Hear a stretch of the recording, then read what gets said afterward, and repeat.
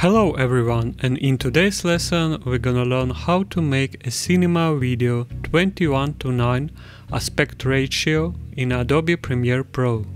So I have prepared the clip in my timeline and now we go to the sequence menu and choose sequence settings.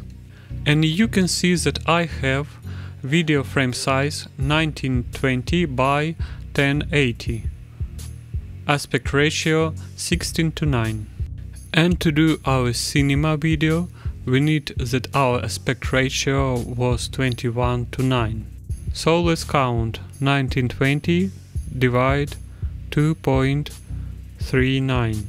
We got 803 and let's round this to 800. Set horizontal value to 800. Press OK and then OK and you can see that we now have widescreen.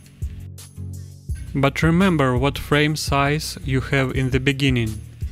If you have 720p, you need 1280 divide 2.39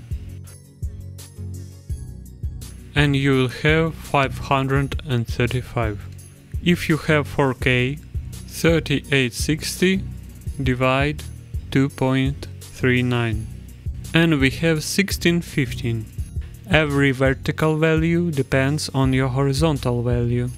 But if you shoot in full HD, your frame size will be 920 by 800.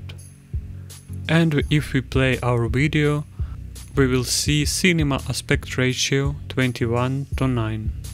Thank you for your attention, subscribe to the channel and have a nice day.